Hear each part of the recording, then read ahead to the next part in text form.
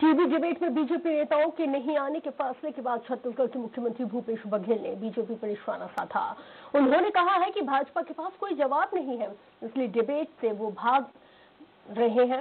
इससे स्पष्ट हो जाता है कि वो लोगों को भ्रम में डालना चाहते हैं, गांधी को अपनाना चाहते हैं, लेकिन गोडसे की निंदा नहीं करना चाहते।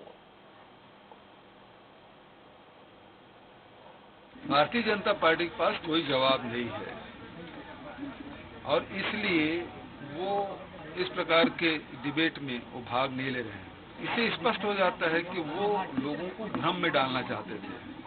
गांधी को अपनाना चाहते हैं, लेकिन गोडसे की निंदा नहीं करना चाहते। राम को अपनाना चाहते हैं, लेकिन छत्तीसगढ़ में जो हमारे पास जो धरोहर है, वहाँ विकास नहीं करना चाहते।